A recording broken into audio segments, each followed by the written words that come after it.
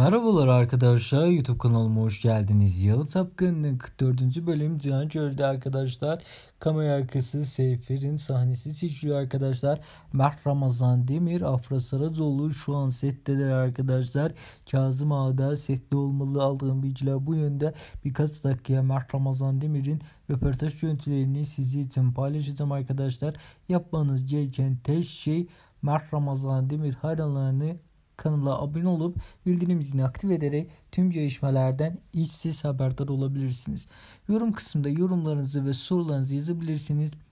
Elimden geldiği kadarıyla yorumlarınızı okuyup yanıtlayacağım arkadaşlar. Bugün sizler için dolu dolu bir gün arkadaşlar. Görüntülerimiz ard arda peş peşe geliyor. Yalı Tapkın'ın setinden şimdilik sizi bu görüntülerle baş başa bırakmak zorundayım. Kendinize iyi bakın. Bizi takipte kalmayı sakın unutmayın. Dizi haberleri